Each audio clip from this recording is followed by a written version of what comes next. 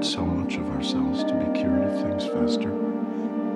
that we go bankrupt by the age of 30 and have less to offer each time we start with someone new? But to make yourself feel nothing so as not to feel anything